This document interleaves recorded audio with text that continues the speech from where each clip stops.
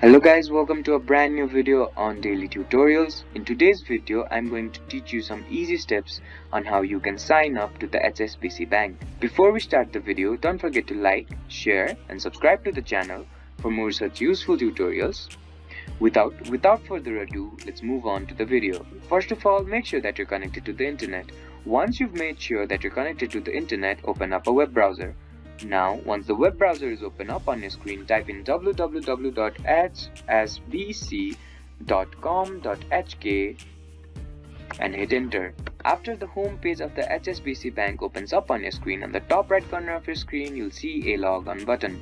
Go ahead and click on it. Once you click on the logon button, a menu will pop up on your screen. On that menu, click on the Register for Personal Internet Banking option. After you click on the Register button, you'll be further guided to another page.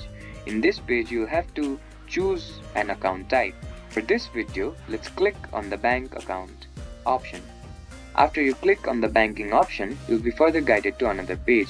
In this page, you'll have to tick on this option and this option and then click on continue.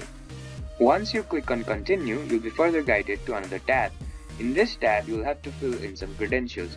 You will have to fill in these credentials correctly and then click on continue.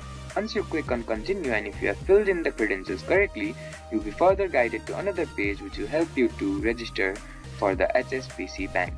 I hope this video helped you to register for the HSBC Bank. Don't forget to like, share and subscribe to the channel for more such useful tutorials. Thank you for watching.